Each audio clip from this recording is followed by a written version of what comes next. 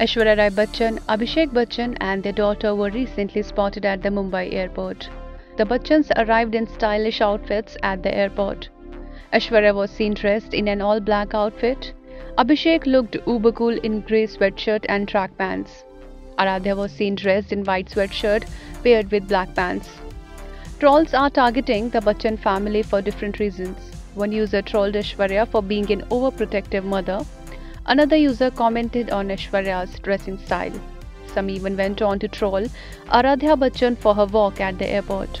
Some time back, Abhishek had clapped back at trolls who targeted his daughter Aradhya. The actor had said that he understands that he is a public figure, but saying something wrong about his daughter is like crossing the border. The actor also asked all the trolls to correct the score right by commenting in front of him instead of talking behind his back.